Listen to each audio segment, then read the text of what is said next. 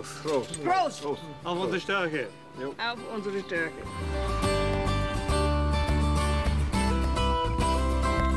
Er kann besser nähen und ich kann besser gucken. Ich finde die Löcher und er macht sie dicht.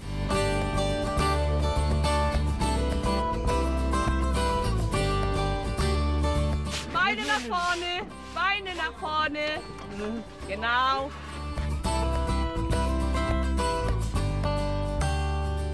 Es ist ein nasser Landstrich im Nordwesten Schleswig-Holsteins. Zwischen Husum, Schleswig, Rendsburg und Heide. Drei Flüsse schlängeln sich hier durch Wiesen und Moore.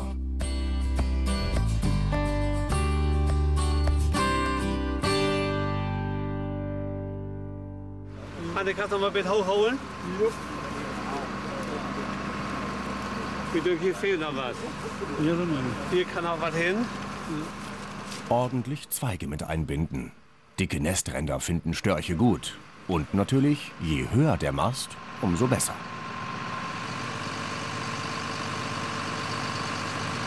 Und da habe ich gesagt zu meinem Mann, ich möchte auch mal einen Mast haben. Du hast es wohl nicht gut, sagte Und nun ging das. Es geht, weil ein großer Energieversorger und der NABU die Sache unterstützen. Das war ein Spezialwunsch von Frau Lorenzen. Sie ist schon so, so, so, so lange im Storchensschutz tätig. Ich denke schon fast 50 Jahre. Und jetzt auf ihre alten Tage möchte sie noch ein. Wäre es schön, wenn sie ein Storchenpaar im Garten hätte. Und da hab uns, haben wir uns gesagt, okay, den Wunsch wollen wir ihr erfüllen. Hans-Gerhard Dirks So, ist NABU-Vorsitzender von Bergenhusen. Dieses Nest in Rita Lorenzens Garten ist bestimmt das 20. das er mit aufbaut. Oben kommen Pferdeäpfel ins Nest. Pferdemist äh, Gas Ammoniak aus. Und das ist ein Mittel, das eben gut ist gegen Parasiten aller Art. Gegen Milben, Haarlinge, Federlinge, alles das, was ein Vogel normalerweise mit sich rumschleppt. Und natürlich auch die Störche. Und der zweite Trick? Gleich noch weiße Farbspritzer oben aufs Nest. Sozusagen nachgemachter Storchenschied. Lockt an, weil signalisiert, das Nest war schon mal bewohnt, muss also gut sein.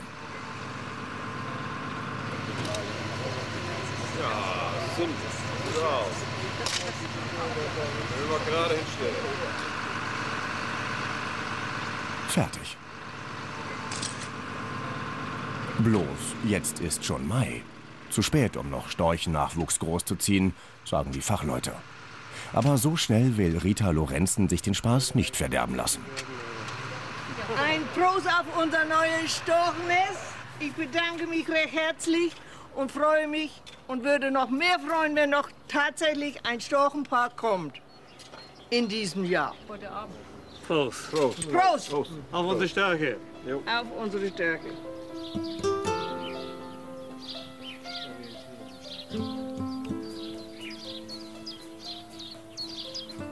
Sommer bei den Störchen von Bergenhusen.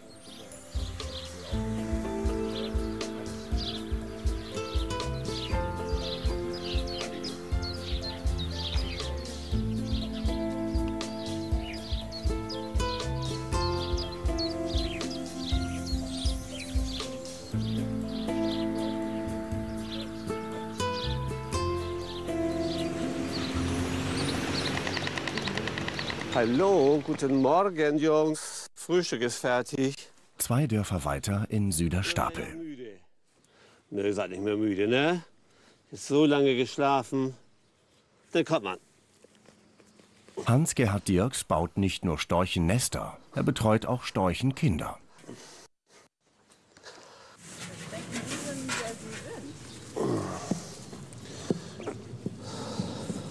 Sie strecken den Hals gerade. Das ist ein Totstellreflex.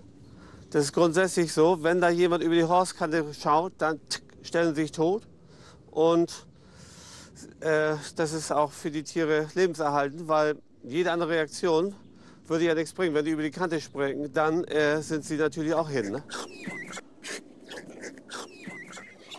Der wird ja lebendig. Aber wir haben noch mehr von der Sorte. Das hast du zwei bekommen, das geht ja nun gar nicht. Hier habe ich noch was Leckeres. Schau mal hier, du hast überhaupt noch nichts bekommen. Die Störche sind Hans-Gerhard Genau. Dirks Nebenjob. Eigentlich ist er Biolehrer. So, hier kriegt ihr noch was. Komm mal her. Hier sind die Jungstörche jetzt, weil sie sonst wahrscheinlich verhungert wären. Da wurde also bei der Bergung festgestellt, hey, in dem Nest sind vier Stück und wir nehmen mal lieber zwei Stück raus, bevor da was passiert. Denn wir haben viel Regen gehabt, viel Kälte gehabt und das ist die sichere Nummer. Denn man sieht ja, wie viel die fressen können. Das ist nur eine Mahlzeit jetzt. In drei Stunden kann ich wieder hier stehen und sie wieder füttern und so geht es den ganzen Tag bis zur Dämmerung durch. Die Altstörche würden das nicht schaffen. Ja, klapper mal, klapper mal, ja, klapper mal, richtig. Der nächste Kandidat. Erst vier Wochen alt. Ein Nachzügler. Würde Dirks ihn jetzt zu den größeren setzen, wäre er ruckzuck erledigt. Ist ja auch so ein kleiner Storch, kann schon ganze Fische runterschlucken. Vielleicht schafft der Kleine es noch mitzufliegen. Gen Süden. In gerade mal vier Wochen. Zack, hinterher. Es gehört sich eigentlich für einen vernünftigen Storch, dass er im April da ist und spätestens im Mai schon brütet. Das ist hier sozusagen der Rhythmus. Und wer zu spät kommt, den bestraft nachher das Leben. Nicht? Das ist leider so. Es ist Juli. In Rita Lorenzens Garten sitzt ein Storch. Am Tag, an dem das Nest aufgebaut wurde, sagt sie, da zog um 2 Uhr der ganze Trupp ab und Um fünf war der Storch da. Und ich habe mich so gefreut. Denn am nächsten Tag hatte er eine Dame, die mochte er aber nicht leiden. Die schubste er mit dem Flügel so ganz sachte vom Nest und äh, dann ist sie weggeblieben. Nee. seitdem kommt er jeden Tag vorbei. Ihr Storch. Ich kann ihn erkennen. Dieser scheue Blick. Angefangen hat ihre Storchenliebe vor mehr als 35 Jahren. Ihr Sohn soll mal eben den Filmprojektor in Gang setzen. Dann kann sie das zeigen. Er sagt's laut. Oh, haben so beschweren uns zwar. Gestern ging der Projektor noch. Kartenspiel ohne Ende.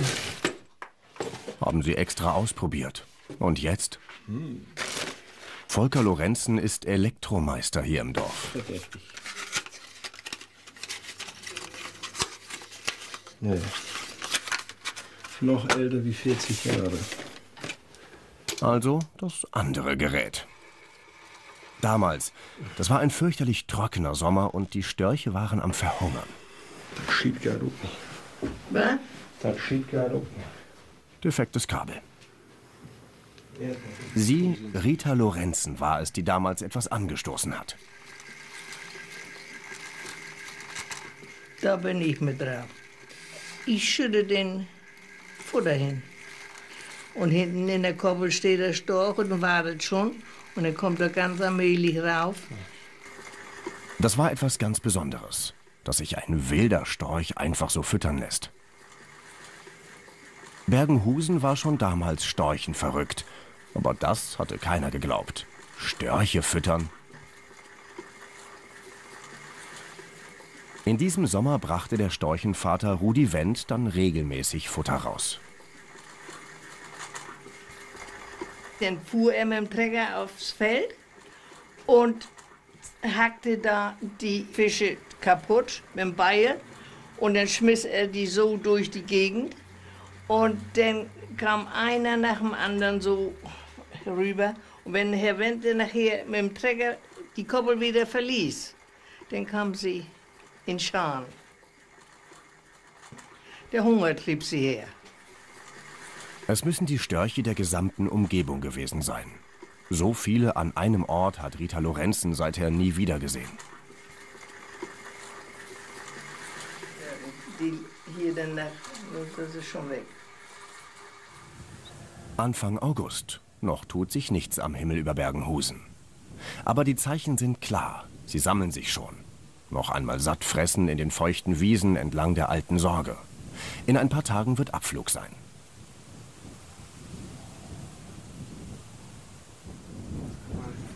Die groß gewordenen Storchenbabys von Hans-Gerhard Dirks sind inzwischen in der Bergenhusener Aufzuchtstation untergebracht.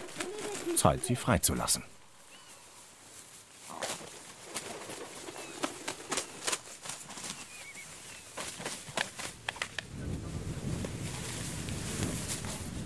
Der Nachzügler aus Dirks Garten.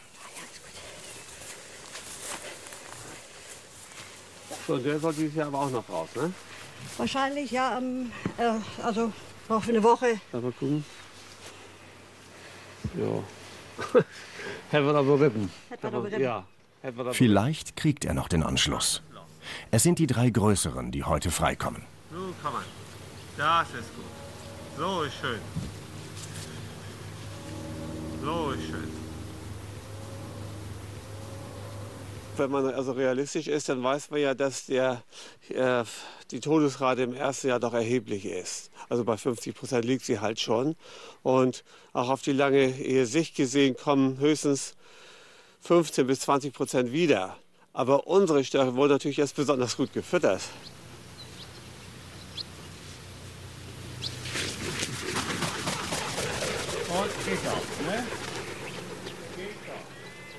Fliegen.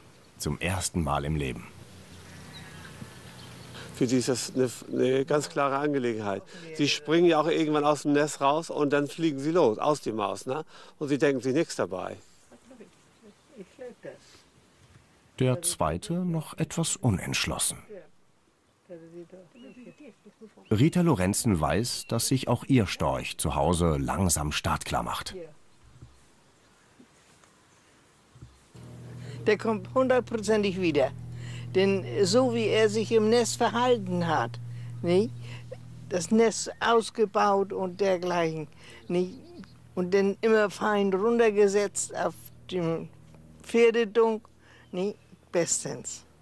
Wenn die Zeit um ist, Ende März, so, dann warten wir, dass sie wiederkommen. Nicht?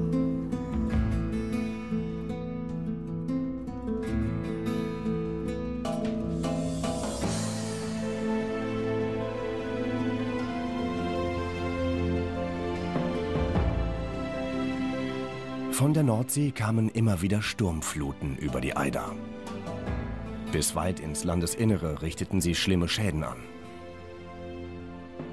Deshalb gibt es seit 1936 die Schleuse Nordfeld bei Friedrichstadt.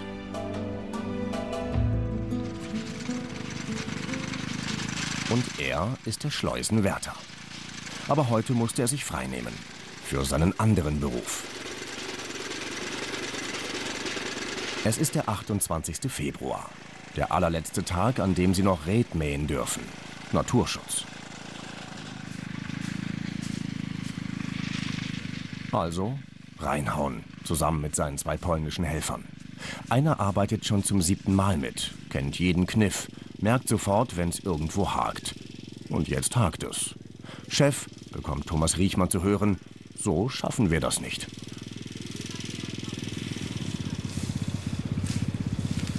Der Kollege, der mit ihm zusammenarbeitet, der ist nicht ganz so flott dabei. Der ist dieses Jahr erst angefangen und äh, ja, so ein bisschen nusselig würden wir sagen ist er. Und da hat er sich so ein bisschen drüber beschwert jetzt bei mir. Und nun muss ich ihm das gleich mal ein bisschen zeigen, wie man das ein bisschen schneller machen kann. Ne?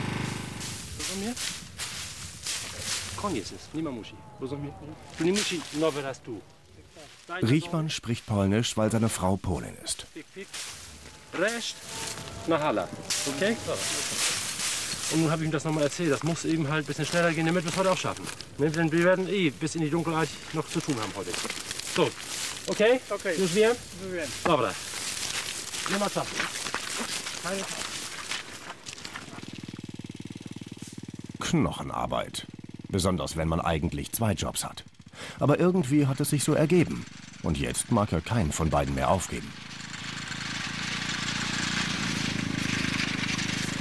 Mein Vater hat früher schon Red geschnitten, mein Opa hat Red geschnitten und somit bin ich da als Junge schon mit ins Feld gezogen, habe Red geschnitten. Damals mussten wir mithelfen. Irgendwann war das soweit. Dann haben wir auch Geld dafür bekommen von meinem Vater. Dann hat es natürlich doppelt so viel Spaß gemacht, weil das gab ja auch was aufs Konto. Und äh, mein Vater ist nun verstorben, seit 2001 ist er verstorben und seitdem mache ich das im Nebenerwerb halt weiter. To orzechy. Na razie jest Marzypan. Nie. Mit Marzipankuchen die Mitarbeiter bei Laune halten.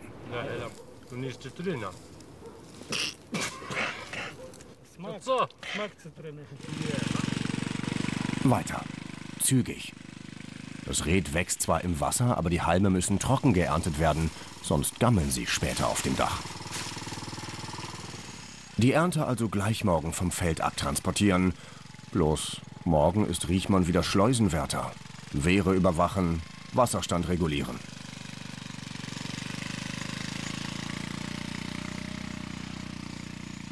Vor kurzem war hier noch alles überflutet. Gut fürs Red. Aber es ist nicht so, dass ich jetzt beigehe und die Schotten deswegen zulasse und keine Entwässerung durchführe, damit mein Redfeld ein bisschen länger Wasser hat. Also das machen wir schon nicht. So weit ist es noch nicht gekommen. Und so weit wird es auch nicht kommen.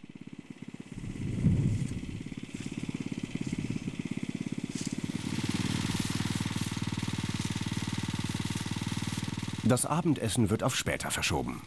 Die Unterhemden nass geschwitzt, jetzt kriecht noch die Kälte dazu. Ein ganzer Tag Arbeit. Das wird für eine Seite vom Dach eines kleinen Hauses reichen.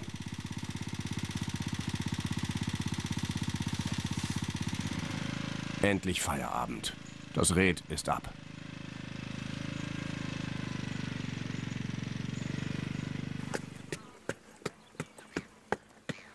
Der nächste Morgen. Der andere Job. Auf der Schleuse Nordfeld in Drage. Ständig. In ein paar Tagen geht die Wintersaison zu Ende. Deshalb jetzt die langen Stege verholen. Von der Binnenlandseite durch die Schleuse rüber auf die andere Seite, Richtung Nordsee. Der Steg hier, der Schlängel jetzt, ist eigentlich die erste Schlosung für uns jetzt nach der Winterpause. Ne? Im Winter wird das ja wird die Anlage auch weiter nicht, nicht, nicht bedient. Vor allen Dingen nicht, wenn die Schleusenkammer zugefroren ist. Dann dürfen wir die Tore nicht fahren, weil dann würden wir sie gegen die geschlossene Eisdecke fahren und dann würden äh, die Antriebe kaputt gehen. Das geht gar nicht.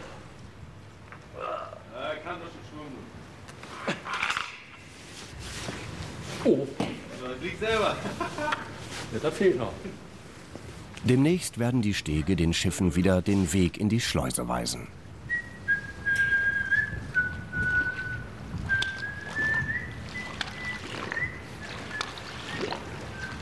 Nur bleibt bloß die Chefen sein. Nur einen Augenblick. Augenblick, ja? Erledigt. Der Schlängel ist draußen, wo er hingehört.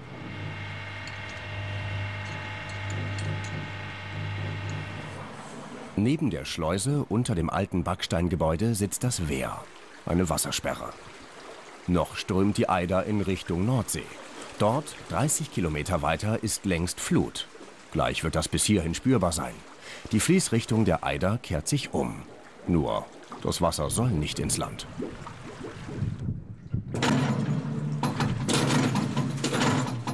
Ohne Antrieb. Zugedrückt allein vom Wasser. Ja, so? Ja. Drinnen in der Wehranlage gibt es noch fünf weitere Tore. Die brauchen sie im Sommer. Deshalb jetzt schmieren.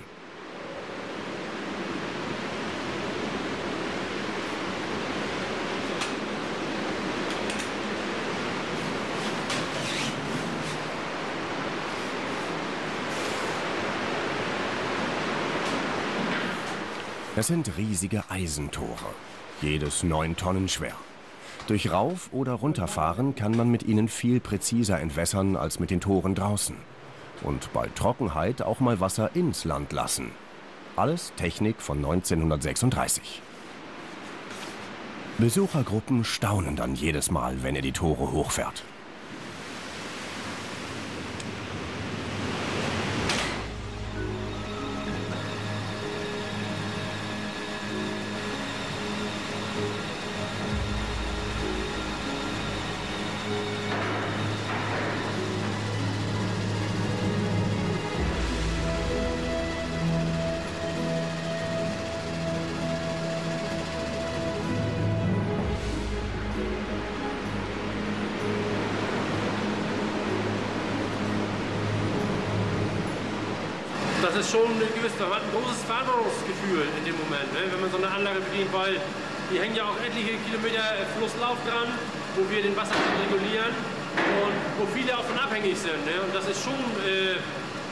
Ist schon ein besonderes Gefühl, muss man sagen.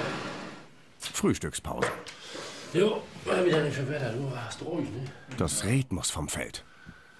Du bist noch nicht fertig, oder? Was? Doch, fertig bin ich schon. Und los, wie sieht das aus? Kann ich schon jemand in der Länge machen für mich? Ich leider nicht. Hast du kein Tiet? Nein, ich hab kein Tiet. Und du? Ik zou nog Bitte um gewoon vier? fertig machen. Dann guck bitte ihr los vor. Ja, dann blick ich hier. Ja? Aushelfen, Stunden tauschen, das kennen Sie schon. Der Mann mit den zwei Jobs.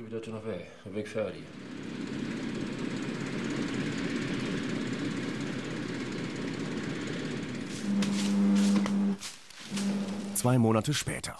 Hier auf dem Hof seiner Eltern in Rehm in Dithmarschen lagert Thomas Riechmann sein Red. Jetzt müssen die polnischen Helfer es verkaufsfertig machen. Ich kontrolliere die Qualität vom Rät, ob das äh, eine gute Festigkeit hat. Darf, man muss es biegen können und es muss sich wieder zurückstellen, es darf dabei nicht brechen. Und das ist eine sehr gute Qualität, die wir hier dieses Jahr haben. Und dann gucke ich auch mal so die Heimstärke, die ungefähr 4 bis 6 mm Durchmesser haben der Heim. Das ist so das, was ich jetzt noch mal mir so ein bisschen angucke. Dann gucke ich auch noch mal, ob die Bunde groß genug werden. Das ist auch ganz wichtig, da die Dachdecker da wir garantieren müssen, dass die Bunde ein Mindestmaß von 60 cm Umfang haben. Dann wir jetzt 61 cm auf der Schnur. Und das lege ich jetzt ums Bund rum. War das? Guck mal, ob er das denn auch einhält, von Knoten zum Knoten. Das ist jetzt 61 das Band. Passiert. Das passt. Ne? Das ist schon wichtig. Noch viel mehr Ärger dem Dachdecker, denn der bezahlt ja Mundweite. Den Packtisch hat Thomas Riechmann selbst gebaut. So lässt sich die richtige Menge Red für einen Bund gut abmessen.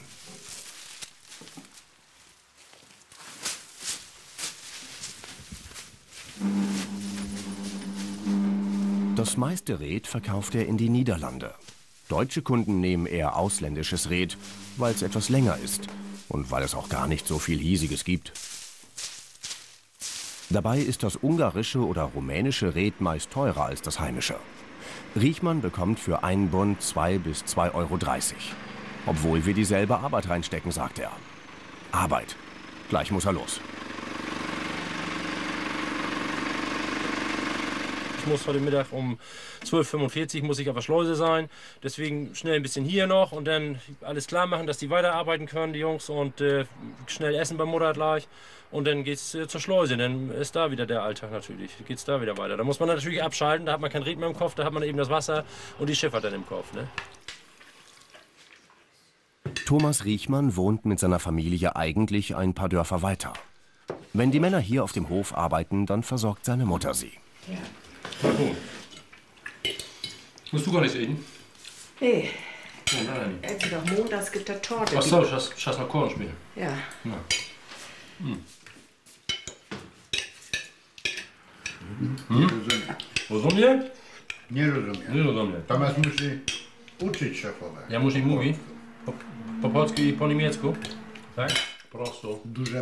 Manchmal, wenn nur sie und die Polen da sind, dann schweigen sie ein ganzes Mittagessen lang.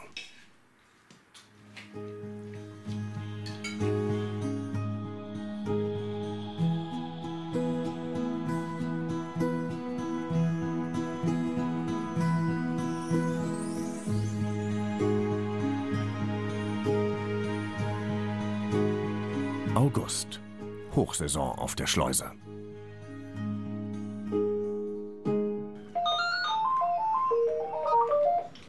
Riechmannsstraße Nordfeld.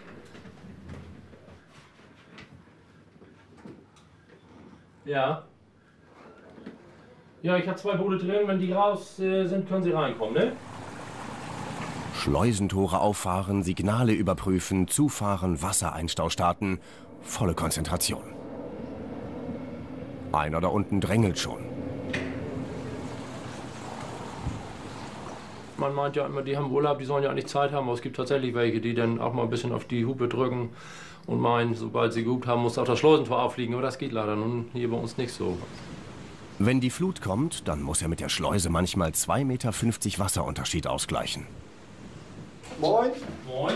Ach, wir haben schon gestern erzählt. Ja, wieder zurück nach Hause. Wieder zurück nach Hause. Ja, wie war der Bootsname? Äh, Nixe. Nixe.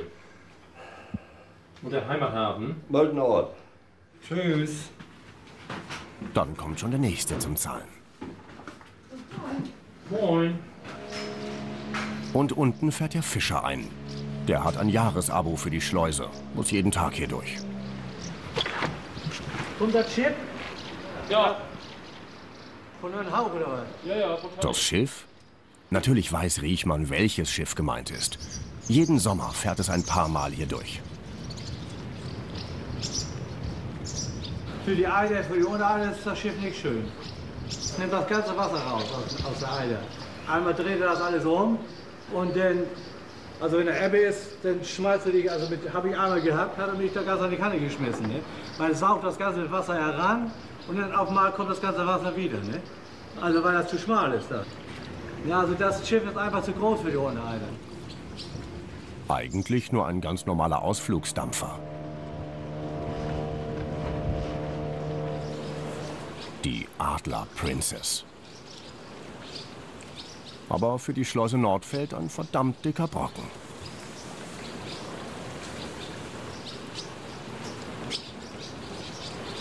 Der Kapitän muss für diese Passage von außen steuern. Für die Mitreisenden an Bord ist die enge Schleuse die Attraktion.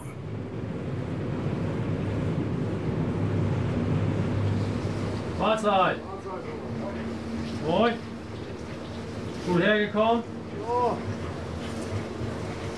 Ja, er mag diesen Beruf. Den kurzen Schnack mit Peter, dem Kapitän. Etwa 2200 Schiffe kommen hier im Jahr durch. Das sind sieben pro Tag. Es gibt Schleusen, da läuft alles ohne Personal. Nur Kamera überwacht. Man macht sich schon Gedanken hier über seinen Arbeitsplatz hier. Man hat ja auch mal geplant, das zu automatisieren. Das ist aber erstmal wieder vom Tisch jetzt, aus äh, Kostengründen. Sicher, wir, wir, wir, nehmen natürlich hier nicht so viel ein jetzt, äh, dass man jetzt sagen kann, ja, das Personal kann davon bezahlt werden. Und äh, irgendwie muss ja auch äh, die Schleuse bedient werden. Gesamteinnahmen heute 67 Euro. Hallo Nils, Kollege, schön, dass du da bist. Ja, schön. Das freut mich immer, dann hätte ich mich Lektion. Ja, das ist schön. Die Adler Princess macht sich auf den Weg nach Rendsburg. Feierabend für Thomas Riechmann auf der Schleuse. Aber noch kein Feierabend in Sachen Red. Red ausliefern an eine Baustelle in Drage, dem Dorf, in dem er selbst wohnt.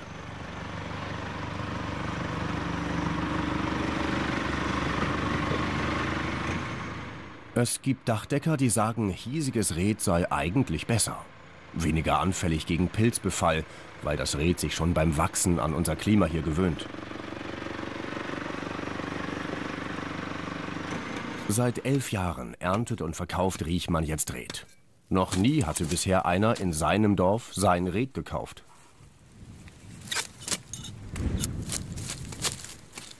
Also ich freue mich erstmal unheimlich dass, äh, und bin auch äh, eine ganze Ecke stolz darauf, dass ich hier in Drage, äh, dass man mir hier das Vertrauen schenkt, dass man mein Red hier aufs Dach haben möchte und äh, nicht auf ausländische Ware zurückgreift, sondern wirklich sagt, das einheimische Red, das soll hier jetzt bei mir aufs Dach. Das ist eine alte Schule hier von 1800, ich glaube aus den 30er Jahren. Und äh, ja, das freut mich natürlich unheimlich, äh, dass ich mich hier mit meinem Red auch in dem Ort, wo ich wohne, wo ich zu Hause bin, mich präsentieren kann. Ich komme heute Abend noch mal rum. Auf ein Bier. Tschüss.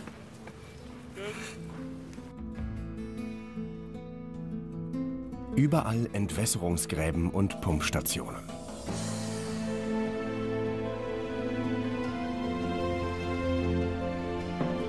Im 17. Jahrhundert waren es holländische Wasserbauer, die den Kampf gegen die Überschwemmungen aufnahmen. Herzog Friedrich III. hat sie ins Land geholt. Ihre Stadt nannten sie deshalb Friedrichstadt.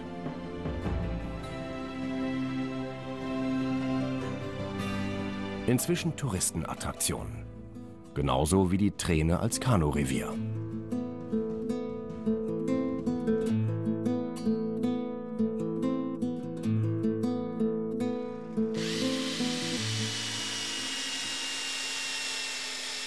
So ein bisschen Ahnung hat hier eigentlich nur er. All seine Helfer sind Laien. Wir haben letzte Woche Freitag das Material hier bekommen und wussten noch gar nicht, wo was hingehört. Und das mussten wir uns dann halt erstmal aufmalen und aufzeichnen.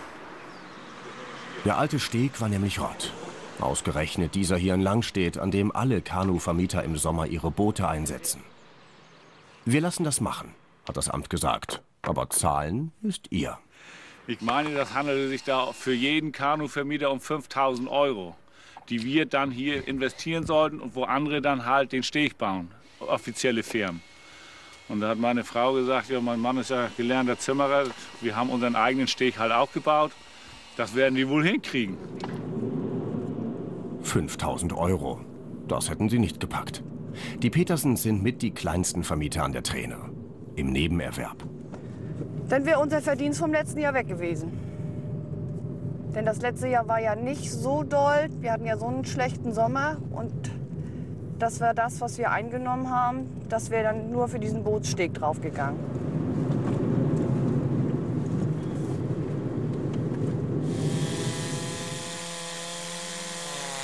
Und deshalb bauen sie den Steg jetzt zusammen mit den anderen sechs Kanuvermietern. Wir haben noch nie Konkurrenz gehabt. Dass der eine den anderen da was wegnimmt oder so, das gibt's gar nicht. Die, wir haben überwiegend auch Stammkunden, die kommen zu uns. Wenn die nicht zufrieden sind, gehen sie zu Petersen. Da sind sie dann noch unzufriedener. Vielen Dank. Eine Lüge.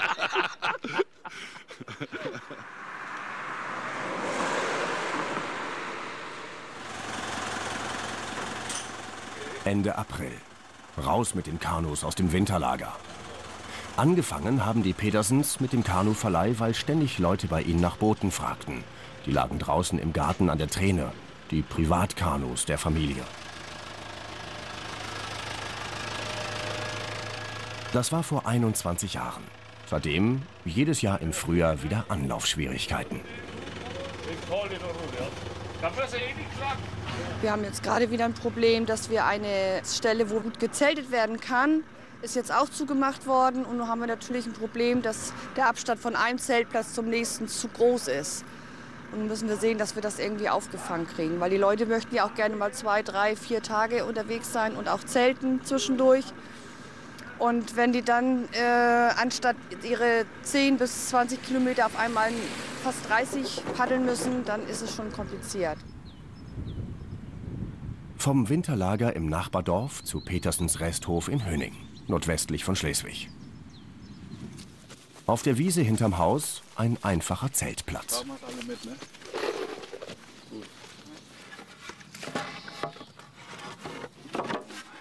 Für 4 Euro die Nacht kann ein Kanufahrer hier campen. Feuerholz inklusive. Direkt am Ufer der Träne. Da wo der Sand so aufgeschwommen ist. Die Träne kenne ich nun fast in- und auswendig. Aber da sie sich jährlich verändert, ist es auch immer schön, hier mal eine Tour zu machen. Es ist ruhig, hier ist weiter nichts. Kein Bootsverkehr, kein Motorboot, kein äh, Schiffsverkehr in dem Sinne, halt nur Kajak und Kanus. Hin und wieder gibt es mal ein Floß, was sich die jungen Leute zusammenbasteln. Die erste Kanutour der Saison. Probefahrt. Flussaufwärts einsetzen und dann mit der Strömung nach Hause paddeln.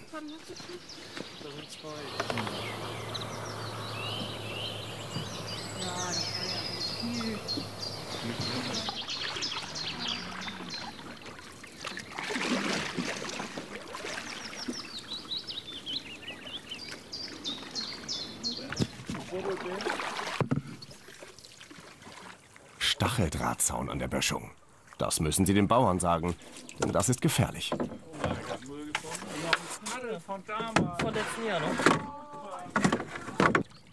Und dann wird die Strömung plötzlich stärker. Das ist eine Sache, die ist jetzt auch im letzten Winter passiert. Es ist schon so schmal gewesen und aus der Kurve raus spült die Träne rein und bricht dann durch. Normalerweise geht es hier auf der linken Hand weiter und nicht rechts rum. Die Träne hat sich ein neues Bett gesucht.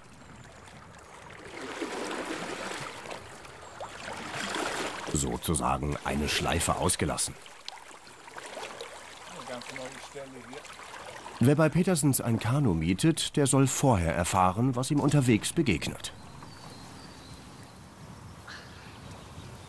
An der Betonbrücke das Boot bei Hochwasser lieber außen herumtragen.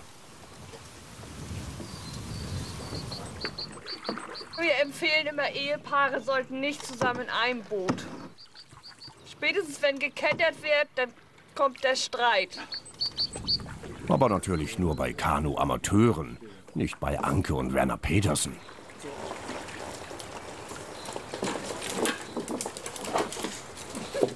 Bleib unten.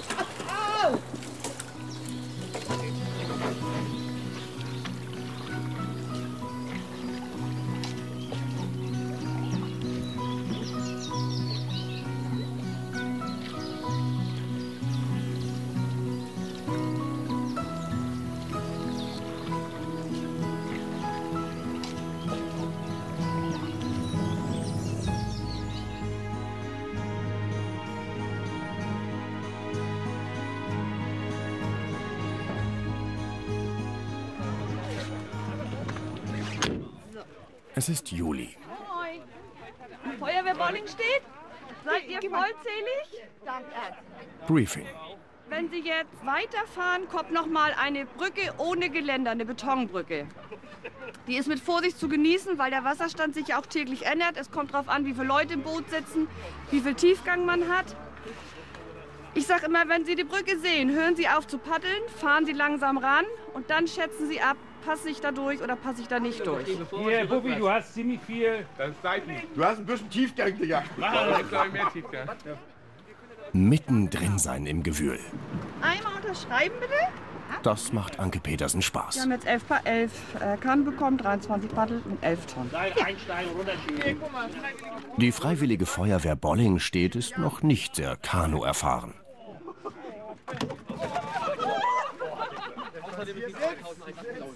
muss erstmal wieder. Das Gleichgewicht, das muss erstmal wieder im Takt. Ich finde das nicht witzig. Der neue Steg samt Rampe bewährt sich bestens. Schwung und Schwung. So. Nee, wir machen das jetzt so rum. Da könnt ihr gleich mal das Wenden üben. Flach halten deinen Schwerpunkt. Flach halten deinen Schwerpunkt. Ruhig bleiben, Mutter. Gut. Ablegen. Einer, ne? Nee, wir sollten gar nicht. Warten auf das letzte Boot. Das ist nicht gut, gut, gut, gut.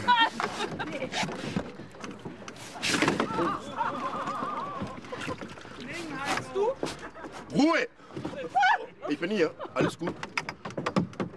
Hier ist dein Paddelschatz. Das brauche ich noch nicht. Doch, gleich. Um wieder nach oben zu kommen. Und tschüss. Und tschüss. Drei Stunden Fahrt sind es bis zum Ziel, bei Petersens Zuhause. Aber dafür muss man erst mal loskommen. Also euch beiden sehe ich schon nass bis auf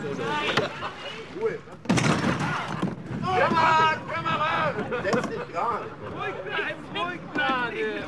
Du dreh mal um. Du musst auf der anderen Seite nur gegenhalten, Schatz. Ey, du fährst mich in die Botanik. Alles gut, Hans. Wir können doch jetzt. Wir können doch hier.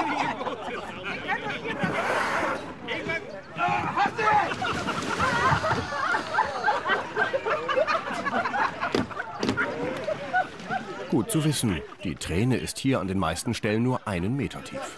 Ja, wisst ihr, wie viel Wasser hier drin ist? Nicht viel. Ich steig jetzt ein. Hältst du bitte fest? Nee, steige rein jetzt. Der zweite Versuch. Schnauze. Da! Hier! Nicht ich! Es! Das Ding gerade. Oh, Schatz! Was denn? Nein!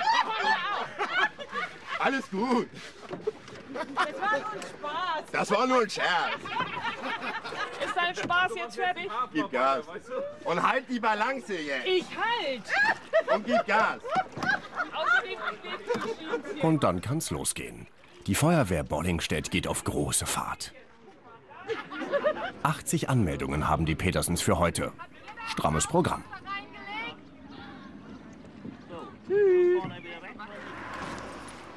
In einer Stunde wollen die nächsten starten.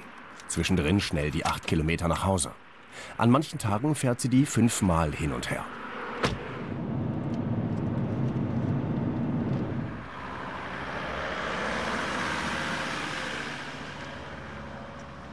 Gleich die Bäder vom Zeltplatz machen. Nachher noch Bettenwechsel in der Ferienwohnung. Außerdem an den Computer und ein paar Anfragen wegen der Kanuvermietung beantworten. Früher hatte sie noch ein Kiosk am Zeltplatz und die Kinder waren klein. Wie sie das geschafft hat, ist ihr heute ein Rätsel.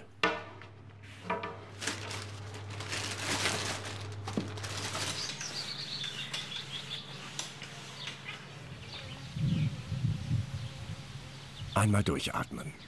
Alle sind unterwegs. Eine Gruppe zeltet schon seit ein paar Tagen. Stammgäste. Die haben gestern gefeiert.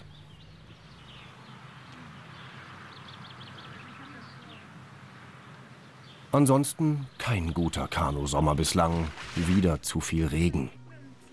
Ein Drittel weniger verdient als in guten Jahren. Aber heute ist ein perfekter Tränetag.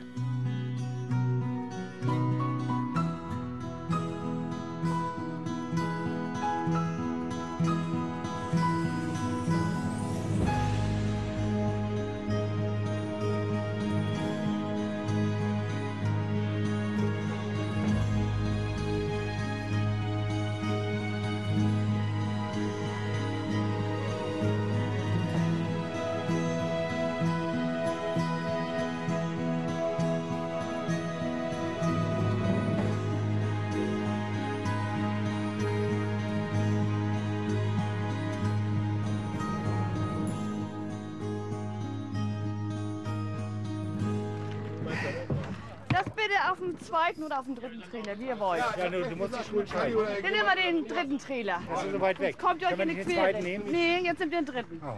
Und du bist so schön groß, bitte oben anfangen.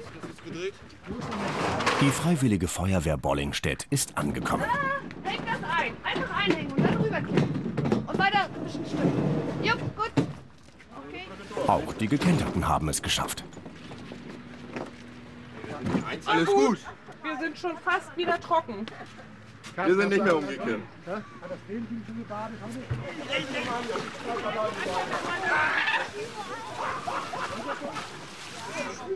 Die weißen Söckchen inzwischen grau. Du hast die Haare schön, du hast die Haare schön. Heute stimmt die Kasse sogar mal. Und es kommen bestimmt auch wieder Sommer mit besserem Kanuwetter. Alles gut hier? Wir sind ja im Chor. Äh, im Chor. Und in schlechten Jahren zeigt sich, wer die wirklich treuen Besucher sind. Ja, also Lohn zum Aufgeben würde ich sagen, nein. Ganz einfach, aus dem Grunde, es macht schon Spaß, wenn Ja, ich hier, nicht, wir. wenn ich diese netten Gäste hier sehe, die jedes Jahr wiederkommen, wo wir dann mal dazustoßen, die geben einen aus, wir geben einen aus. Wenn Sie mitgekriegt haben, 16, 17 Jahre, der Herr ist hier schon über 21, alleine schon hier gewesen. Das ist ein Spaßfaktor, das lassen wir uns nicht nehmen. Wir auch nicht. Schön. Wir auch nicht. Ja, oder? Alle hören NDR ein, aber keiner hört das. Ne?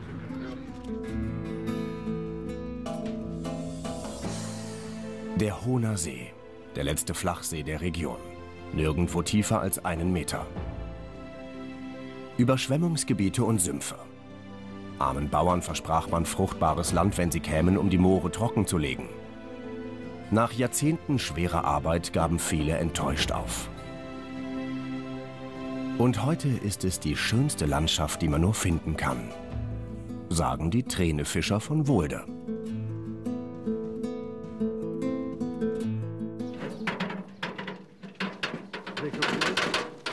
Wenn das Gras wieder grün wird, jetzt im April, dann werden sie unruhig. Seit 35 Jahren mindestens fischen die beiden zusammen, mit Reusen und Stellnetzen. Und fast genauso lange kabbeln sie sich. Beide. Meister Heidi Dorn? Nee. Moin. Moin, moin. Moin, Günther. Ja. Na ja. Kalkul? Ja, kalt. Na. Na Ja, wir haben so veel met die dus snakken wie met arbeiten. ja. Ja, das ist so gut. Also müssen wir mit das erstmal Baum dauern. Ja, ja. Sonst war das nichts. Ne? Heute wollen sie die Reuse fertig machen. Kontrollieren, ob irgendwo noch Löcher sind. Das Netz ist schon alt, viel schwerer als ein neues.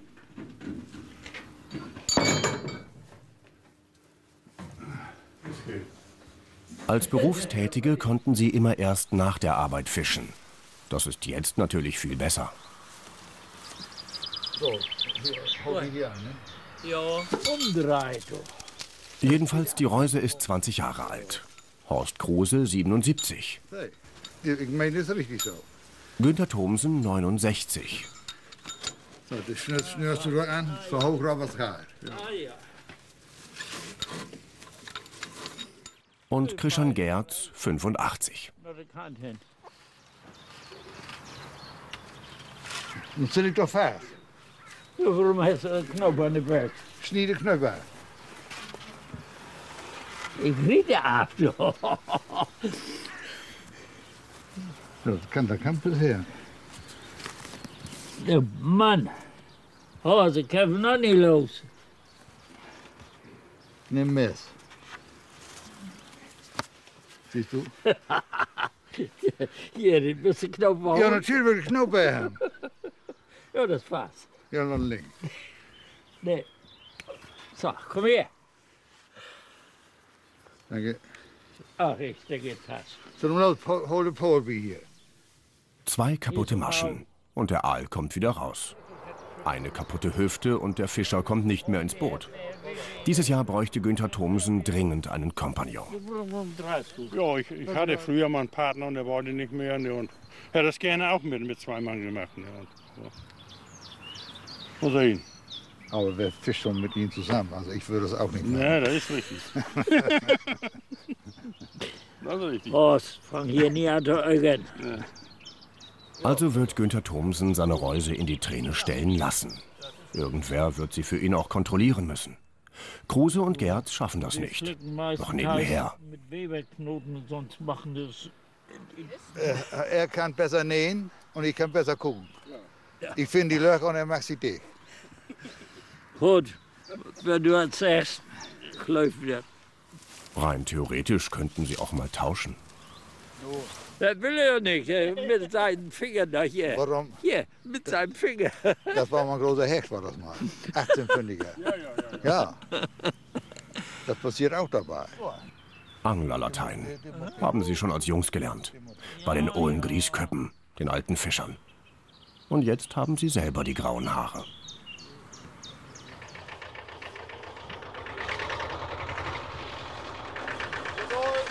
Ein paar Tage später, Anfang Mai.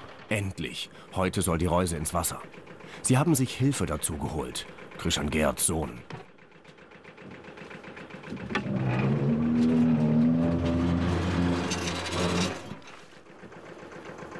Hilfe! Zuerst gleich die Eisenstangen einschlagen, an denen dann die Reuse aufgehängt wird. Denk aan die vader. Hij is over 80. Gerd Junior hält das Gleichgewicht beim Einschlagen. Gerd Senior hält die Stange. Horst Kruse hält das Boot gegen die Strömung am Platz. Schwer. Is 10 kilo. Damit Und dann schaffen der, wir der es Höhe, nicht. das könnt ihr nicht. Und bei der Höhe Stange halten plus kloppen, ne? Das, Oh, ist, nee. das ist nicht so einfach. Oh, nee. Ich sag, vor 15 Jahren haben wir das selber gemacht. Da ging das noch. Ja, ja. Aber jetzt nicht mehr. Da wären wir jung raus, Ja, ne? jung werden wir nie, aber jünger. Ja, ja. nee. Jetzt sind sie eben ein bisschen älter.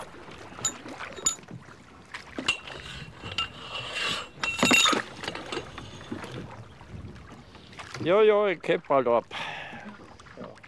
Bald, aber erst bald. Bald ist ein weiter Begriff, ist relativ. Das den, den. relativ. Aufgeben und dann nicht mehr jeden Tag raus? Reusen kontrollieren, das Wasser riechen. Hier auf der Träne bei Wohlde.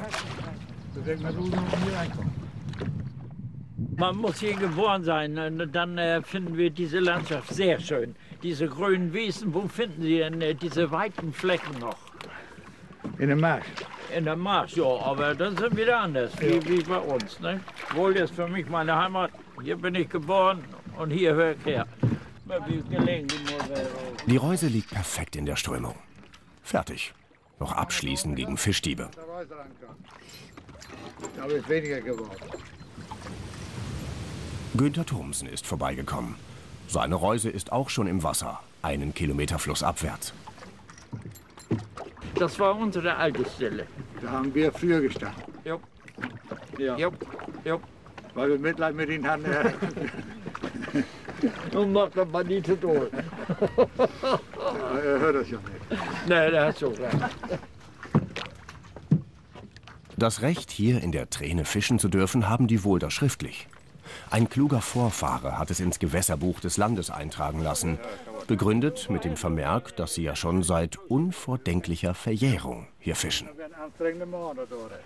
är sån där sak för dig då. Und der Chef ist da. Ja, Moin Gunnar. Moin, Herr Direktrin. Ja, wie? Ohne Diesel hoor. Moin. Nee? Dat zou we heten. Dat we heten, ja. Und nun geht das los. Ja. ja. Morgen war der erste Routhoer. Ja. Dann werden wir Glück haben. Prost Kaffee. Nee, die Kaffee. Ja. Niks met de tong. Ja, proost. Proost. Proost. Vom Gutschein, ne? Ja. Saison 2012 eröffnet.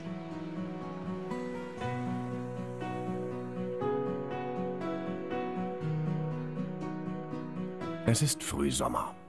Mit Günther Thomsens Hüfte wird es besser.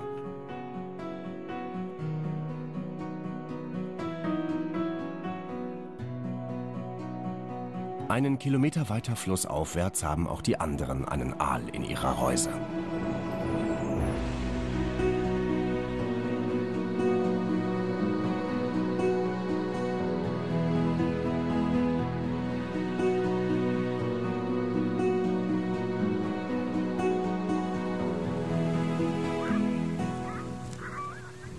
Fünf Wochen später.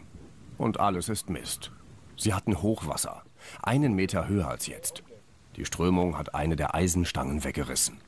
Die Reuse ist noch da, aber unter Wasser zusammengeklappt und Er verheddert. komt nog een paar, paar. Alles, alles Dreck. Gestern haben sie es nicht geschafft, das Ding aus dem Wasser zu ziehen. Deshalb heute mit mehr Unterstützung.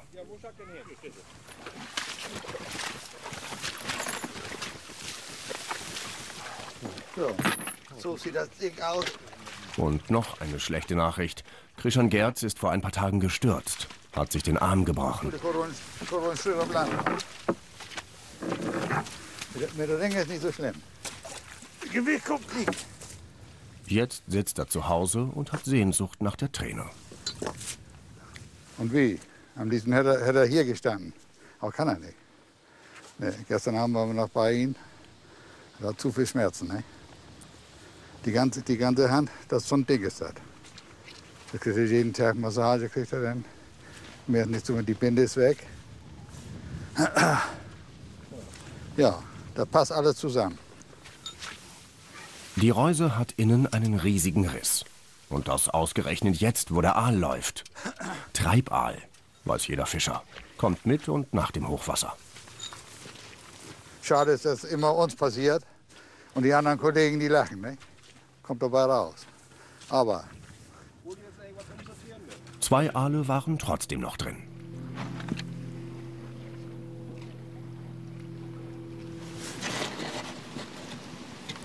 Ende August.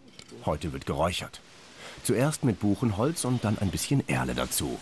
Altes Rezept von den Griesköppen, den alten Fischern.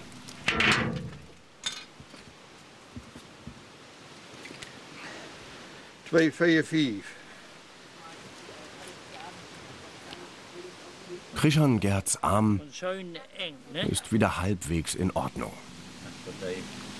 Dat is nur wegen Schönheit, damit der Kopf geradeaus ist. Ne? So sieht es aus, wenn die tot sind. Räuchern ist schön. Wegen der Wartezeit. Schnacken. Vom Plümpern zum Beispiel. Dem Abfischen auf der Träne am Ende der Saison. Mehr du hast du. Du bist doch ganz selten da. Komm hin. Wir sind oben. Also da. Temperatur runter. Jetzt noch drei Stunden im Rauch lassen. Weiter schnacken. Wie ein Angelverein ihnen verbieten wollte, mit den Reusen zu fischen. Aber ist ja eingetragenes Recht. Da waren sich alle Wolderfischer einig. Wir halten zusammen. Ne? Ohne, ohne Zusammenhalt geht überhaupt nichts.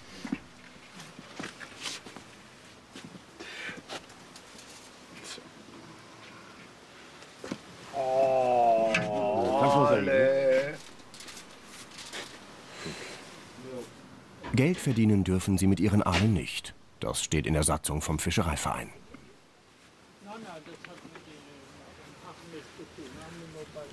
Das sind die Traineraale, sind das. Die sind in kein Geschäft zu kaufen. Nur Verzehr bei uns. Mehr nicht. Ja. Nu hangen ze erop omdat ze niet varen, hè? Mm, das schmeckt. Mm. Die mit. Ja. Deswegen ist er. Ende Oktober. Der ganze Fischereiverein auf den Beinen. Günter Thomsen organisiert. Ralf, wo ist Ralf? Ich bin hier. Ja, ja, du sagst mit, mit mit Carsten. Ja, dann dampf wie ab. Ja. Wie dampf ab. Ne? Heute Plümpern.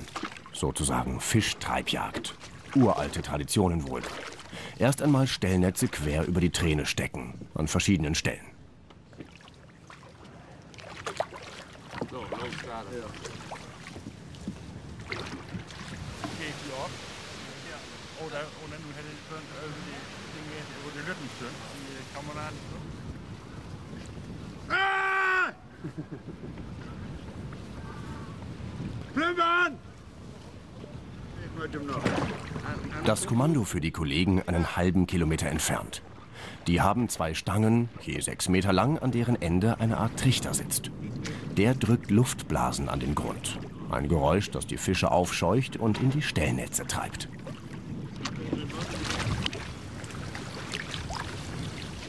Guten Morgen, Herr Brass.